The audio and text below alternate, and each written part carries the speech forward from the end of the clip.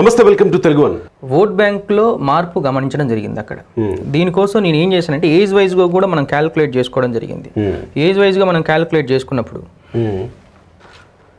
Age వైజ్గా మనం calculate చేసుకున్నప్పుడు అంటే గ్రాఫికల్గా ఎయిటీన్ టు థర్టీ ఇయర్స్ ఒక కేటగిరీ తీసుకున్నాం. Thirty to forty five years ఒక ఏజ్ గ్రూప్ ఏజ్ గ్రూప్ తీసుకున్నాం. Forty five to fifty five ఒక age group. Above sixty years అంతా కూడా ఒక ఏజ్ గ్రూప్ లాగా తీసుకోవడం. దీన్ని తీసుకొని కూడా సర్వే చేసినప్పుడు ఏమైందంటే eighteen to thirty years age group. ఈ గ్రాఫ్ ఏ కలర్ అయితే చూడండి. Eighteen to thirty years age group బీజేపీకి ఎక్కువ ఉంది. ఓకే. Forty six. ఓకే యూత్లో ఎక్కువ ఉంది బీజేపీ. ఈ ఏజ్ గ్రూప్ ఎక్కువ ఎక్కడ ఉంది? బీజేపీలో ఎక్కువ ఉంది. అంటే ఇదే ఏజ్ గ్రూపు స్వింగ్ ఓటర్స్ కూడా లెవెన్ పర్సెంట్ ఉన్నారు. ఓకేనా? అంటే నిర్ణయం చెప్పని అటు ఇటు నిర్ణయం చెప్పని వాళ్ళు. అండ్ ఇదే ఏజ్ గ్రూప్ టీఆర్ఎస్కి ఓన్లీ ట్వంటీ ఎయిట్ పర్సెంటే ఉండింది. And eighteen to thirty years age group కాంగ్రెస్కి ఫిఫ్టీన్ పర్సెంటే అంటే చూడండి యాంటీ టీఆర్ఎస్ ఓట్ బ్యాంక్ అంతా కూడా ఇటు సైడ్ మళ్ళీందని చెప్పుకోవచ్చు మనం ఇక్కడ. బీజేపీ. బీజేపీ వైపు చూస్తుంది. అంటే తెలంగాణలో యువత బీజేపీ సైడ్ మళ్ళీందని ఇక్కడ ఒక సర్వేలో మనకు వెల్లడితుంది. At the same time thirty to forty five age group అంటే మిడిల్ ఏజ్ గ్రూప్ వీళ్ళంతా. అంటే వీళ్ళు ఓటేసే ముందు ఎప్పుడు కూడా ఆలోచించి ఓటేస్తారు మీకు అర్థమే ఉంటుంది. ఈ ఏజ్ గ్రూప్ వాళ్ళు మనం గమనిస్తే ఎక్కువ ఫార్టీ త్రీ పర్సెంట్ బీజేపీలో ఉన్నారు. కానీ టీఆర్ఎస్కి వచ్చేసరికి మళ్ళీ ఇక్కడ తగ్గింది. మీరు బాగా అబ్జర్వ్ చేయండి. ట్వంటీ సిక్స్ పర్సెంటేజ్కి వచ్చేసింది. అవునా? అవును అండ్ కాంగ్రెస్కి పెరిగింది. ఫిఫ్టీన్ టు సెవెంటీన్ పర్సెంట్ ఇక్కడ పెరిగింది. ఈ age group and swing voters అంటే ఇక్కడ ఎక్కువ కూడా అసంతృప్తి అంటే thirty to forty five years age గ్రూప్లో ఓటు అసంతృప్తి ఎక్కువ ఉంది. అసంతృప్తి అంటే anti KC anti TRS vote bank ఎక్కువ ఉందని మనకు క్లియర్గా అర్థమవుతుంది. ఫోర్టీన్ పర్సెంట్ ఫోర్టీన్ పర్సెంట్లో ఓకే. ఓకేనా? And forty to forty five to fifty five age group public ఎలా ఆలోచిస్తుందంటే ఎక్కువ శాతం చూడండి టీఆర్ఎస్కి ఎక్కువ ఉంది. థర్టీ సెవెన్ మళ్ళీ ఇక్కడ బీజేపీ పడిపోయింది. ట్వంటీకే పడిపోయింది. అంటే ఈ ఏజ్ గ్రూప్ పీపుల్స్ బీజేపీని యాక్సెప్ట్ చేయట్లే. ఓకే. మీరు బాగా గమనిస్తే. అండ్ ఇక్కడ స్వింగ్ ఓటర్స్ కూడా ఏమైంది? Ten percent. And thirty three percent కాంగ్రెస్ని యాక్సెప్ట్ చేశారు మళ్ళీ ఏజ్ గ్రూప్ పబ్లిక్. మీరు బాగా గమనిస్తే. టిఆర్ఎస్ తర్వాత కాంగ్రెస్ని కాంగ్రెస్ని. యాక్సెప్ట్ చేస్తున్నారు. ఓకే. యాక్సెప్ట్ ప్రత్యామ్నాయంగా ఇక్కడ బీజేపీని కాదని కాంగ్రెస్ వైపు ఈ ఏజ్ గ్రూప్ వాళ్ళు forty five to fifty five age group వాళ్ళు. కానీ ఎబో సిక్స్టీ ఏజ్ గ్రూప్ వాళ్ళు మనం గమనిస్తే. ఈ ఎబో సిక్స్టీ వాళ్ళు ఎక్కువ శాతం forty six percentage TRS side ఎందుకు అనేది మనం అంచనాలు వేసుకోవచ్చు దాన్ని. అంటే వాళ్ళ ఫంక్షన్స్ కానీ ఏదైనా కానీ చూసుకుంటే ఎక్కువ forty six percent TRS side ఉన్నారు. And least percentage eighteen percent BJP BJP side ఉన్నారు. అండ్ ట్వంటీ త్రీ పర్సెంట్ అంటే ఇక్కడ బీజేపీకి సంస్థాగతంగా ఎక్కడ ఓట్ బ్యాంక్ టర్న్ అయిందంటే eighteen to forty five years అంటే ఎయిటీన్ టు థర్టీ ఇయర్స్ ఎక్కువగా ఉంది focusing thirty to forty five age group వాళ్ళు. కొంచెం లిటరల్గా అంటే న్యూ జనరేషన్స్ న్యూ జనరేషన్ ఇంకో ఇంకొక విషయాన్ని కూడా ఇక్కడ మాట్లాడుకోవచ్చు. ఇక్కడ ఎయిటీన్ టు ఫార్టీ ఫైవ్ అని అంటే తెలంగాణ ఉద్యమ నేపథ్యం తెలంగాణ ఉద్యమ నేపథ్యం మర్చిపోయిన తర్వాత తెలంగాణ వచ్చిన తర్వాత ఓటు వచ్చినటువంటి వాళ్ళు. అవును. తెలంగాణ ఉద్యమ నేపథ్యంలో ఉన్నటువంటి వాళ్ళు ఫార్టీ ఫైవ్ ఏజ్ గ్రూప్ వరకు ఉన్నటువంటి వాళ్ళు. ఈ ఎయిటీన్ టు థర్టీలో ఉన్నటువంటి వాళ్ళు తెలంగాణ వచ్చి తెలంగాణ రాష్ట్రంలో ఉన్నటువంటి వాళ్ళు ప్రత్యేక తెలంగాణలో ఉన్నటువంటి వాళ్ళు. సో వీళ్ళకి తెలంగాణ ఉద్యమం గురించి అంతగా తెలిసి ఉండకపోవచ్చు. ఎయిటీన్ గ్రూప్ చదువుకుంటే వాళ్ళకి తెలుసు. present. తెలిసి ఉండకపోవచ్చు. వీళ్ళకి తెలంగాణ ఉద్యమం గురించి తెలిసి ఉంటుంది. వాళ్ళందరూ పార్టిసిపేట్ చేసిన వాళ్ళే. పార్టిసిపేట్ చేసిన వాళ్ళు కూడా ఉంటారు. సో వీళ్ళందరూ బీజేపీ వైపు చూస్తున్నారని ఎట్లా అనుకోవాలి మనకు పోలింగ్లో ఏమొచ్చింది? ఇప్పుడు యువత ఎక్కువ శాతం బీజేపీ సైడ్ చూసింది. కానీ థర్టీ టు ఫార్టీ ఫైవ్ ఇయర్స్కి వచ్చేసరికి ఏమైందంటే అది కొంచెం పడిపోయింది. ఎందుకంటే అక్కడ న్యూట్రల్ ఓటింగ్ కూడా పెరిగింది. మీరు బాగా అబ్జర్వ్ చేస్తే. అంటే కొంచెం ప్రస్తుతం ఉన్న ప్రభుత్వ పనితీరును చూసి కొంచెం స్తబ్దతకు కూడా గురైన వాళ్ళు ఉంటారు కదా. Hmm. దానివల్ల ఏమైందంటే ఇక్కడ న్యూట్రల్ ఓటర్ పెరిగింది.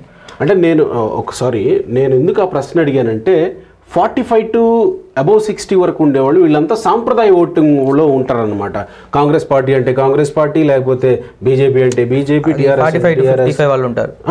నేను ఇదే అంటున్నా. వీళ్ళందరూ కూడా వీళ్ళందరూ సాంప్రదాయ ఓటింగ్లో ఉంటారు. వీళ్ళు వచ్చి ఆలోచిస్తారు స్వింగ్ అవుతూ ఉంటారు వీళ్ళు. ఆలోచనలు స్వింగ్ అవుతూ ఉంటారు సో ఈ క్రమంలో తెలంగాణ రాష్ట్రం వచ్చిన తర్వాత తెలంగాణ ఉద్యమంలో పాల్గొన్న వాళ్ళు బీజేపీ వైపు చూస్తున్నారంటే వీరి ఆకాంక్షను ఎట్లా అర్థం చేసుకోవాలి? టీఆర్ఎస్కి ప్రత్యామ్నాయంగా. వాస్తవానికి ప్రత్యామ్నాయంగా మనం కిందటి పోలింగ్లో కూడా మనం చెప్పాం. ఫస్ట్ పోలింగ్ మనం పెట్టినప్పుడు రాబోయే ఎన్నికల్లో సీఎం అభ్యర్థి ఎవరైతే బాగుంటుందని పెట్టినప్పుడు బీజేపీకి ట్వంటీ టు థర్టీ మధ్యలో ఓట్ ఓట్ షేర్ ఇచ్చారు. అంటే దాని అర్థం ఏంటంటే మీరు బాగా అబ్జర్వ్ చేస్తే రెండు వేల తొమ్మిది కావచ్చు. రెండు వేల నాలుగు రెండు వేల నాలుగులో యూత్ అంతా కూడా ఎట్ సైడ్? టిఆర్ఎస్. రెండు వేల నాలుగు. రెండు వేల నాలుగా? రెండు వేల నాలుగు కాంగ్రెస్ కాంగ్రెస్ సైడ్ ఉంది.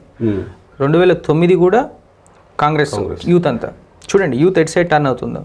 రెండు వేల పద్నాలుగుకి వచ్చేసరికి యూతే ఉద్యమం చేసింది. మీరు బాగా అబ్జర్వ్ చేస్తే. ఉస్మానియా యూనివర్సిటీ కావచ్చు కాకతీయ యూనివర్సిటీ కావచ్చు.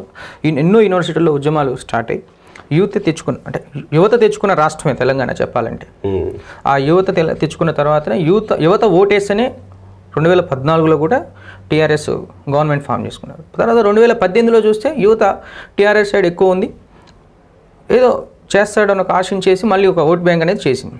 అయితే రెండు వేల పద్దెనిమిదిలో కేసీఆర్ ప్రభుత్వం అంటే టీఆర్ఎస్ ప్రభుత్వం గవర్నమెంట్ ఫామ్ చేసిన తర్వాత అతను ఇచ్చిన హామీలు నీళ్ళు నిధులు నియామకాలు నీళ్ళు నిధులు బాగానే ఇచ్చాడు వాస్తవానికి. నియామకాల విషయంలో కొద్ది గొప్ప అసంతృప్తికి గురి చేశాడు వాళ్ళని. ఆ ఏజ్ గ్రూప్ అదే ఏజ్ గ్రూప్ వాళ్ళు నేను అదే అంటున్నా. వీళ్ళు ఆలోచిస్తారు. అసంతృప్తికి గురి చేశాడు.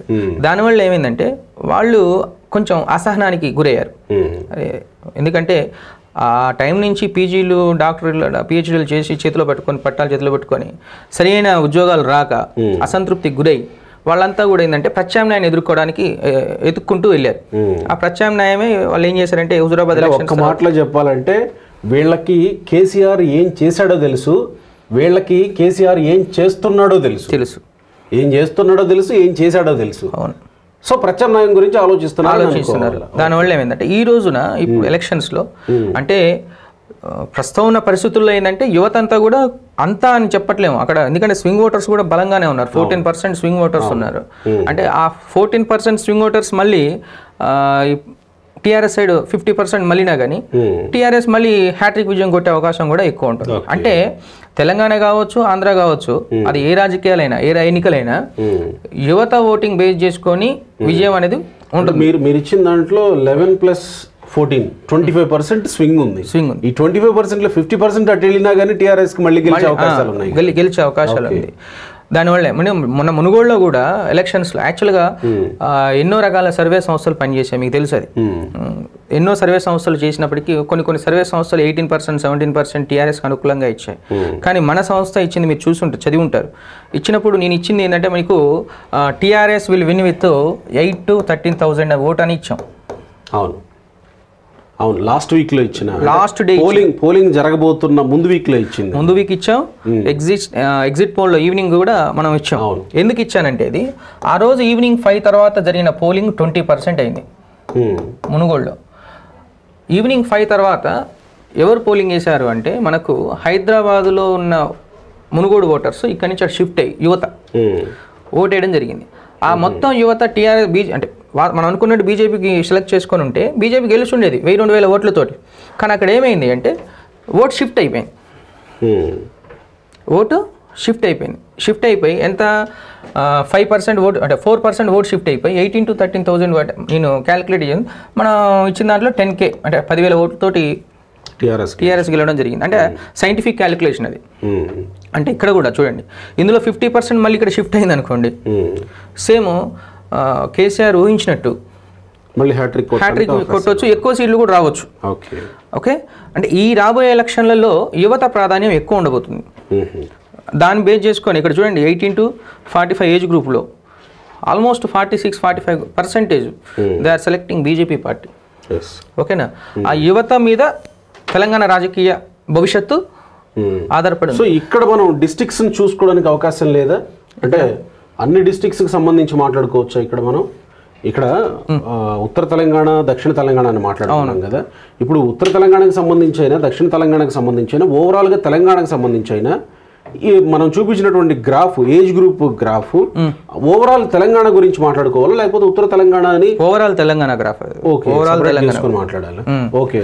ఎందుకంటే యువత ఎక్కడున్నా నిజం కోసమే అన్వేషిస్తుంది. డెఫినెట్గా షేర్ చేస్తూ ఉంటారు. అంతా యూత్ అంతా ఆదిలాబాద్ నుంచి గద్వాల్ వరకు ఓకేనా?